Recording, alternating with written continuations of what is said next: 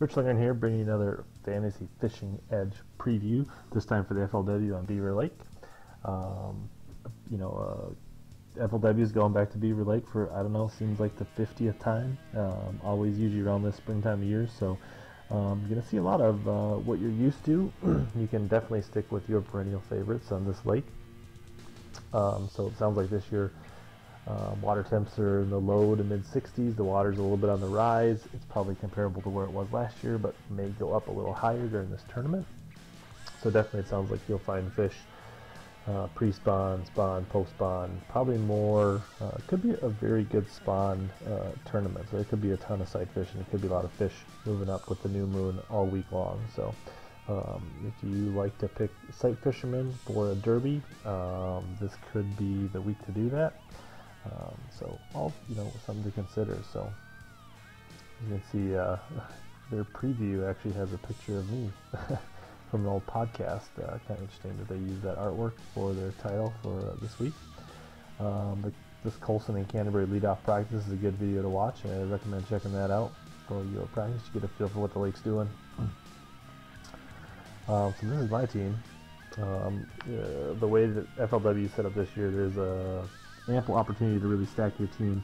Um, it seems like they're weighting uh, previous year's results a lot less than they have in the past when calculating salary and going more off Angler of the Year standings, much more like Bass does for their salaries. So um, I feel like I'll be able to put a pretty strong uh, team together without really stretching the budget too much. Uh, I didn't really have to dip down too low to find you know relative unknown anglers.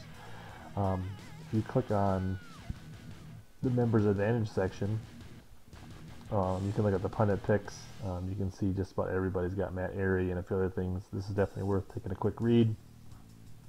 Um, but the uh, you can also click on the local finder, fancy trends, who people are picking. Um, but if you look at the Angler Lake history, you can basically see everybody that's fishing, how many tournaments they fish, top 10s, 20s, uh, and their current Angler Year standing and their average finish. So you can see, you know, Bryan Thrift has been amazing on this lake. Uh, you know, Clark Wendlandt has had a lot of success, but a lot of those wins were, or top 10s were a long time ago. Um, Mark Rose has also done really well in this lake. Scott Canterbury won last year.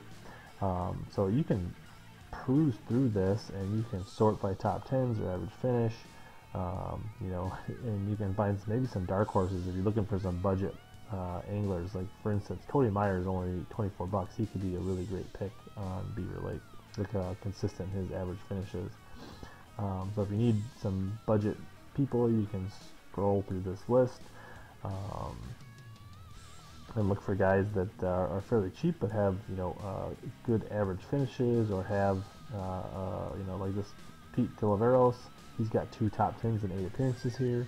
Um, so that's kind of an interesting thing to look at. Um, so a lot of good information there. Um, then you can also take a peek at bass rankings which is really good. Uh, you can see Matt Arey has won I think two out of the three last year at, at the Beaver Lake. Andy Morgan has uh, won once and has tons of top tens. Um, so lots of really good information for you to review um, and anglers to look at. And there's tons of history so you can kind of spin this any way you'd like. So back to my team. Uh, Bryan Thrift and Mark Rose uh, have great history here. Um, they're doing really great this year so they're very expensive but I think they're totally worth it um, in this event.